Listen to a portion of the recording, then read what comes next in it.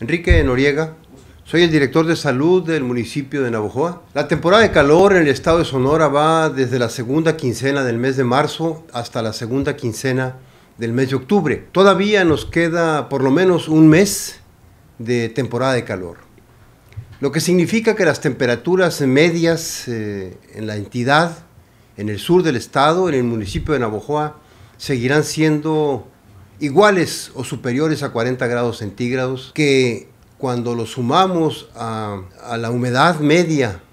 a la humedad relativa, y lo sumamos también al calor,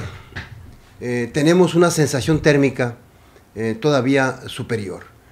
Las recomendaciones que se hacen para la temporada de calor siguen siendo válidas aun cuando estamos ya en el otoño. Por ello, hacemos un llamado para que, para que los navojoenses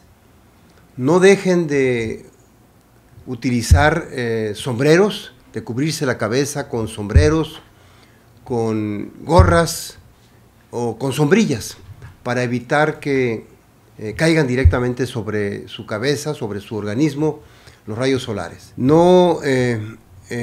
hemos tenido este año las cifras de golpes de calor, de insolaciones, de deshidrataciones y tampoco de quemaduras que tuvimos en los años anteriores. Por un lado, eh, se debe a que estamos en presencia, esto lo hemos defendido con mucho eh, énfasis en diferentes foros, estamos en presencia de una sociedad eh, que en términos de salud está más informada, es más exigente,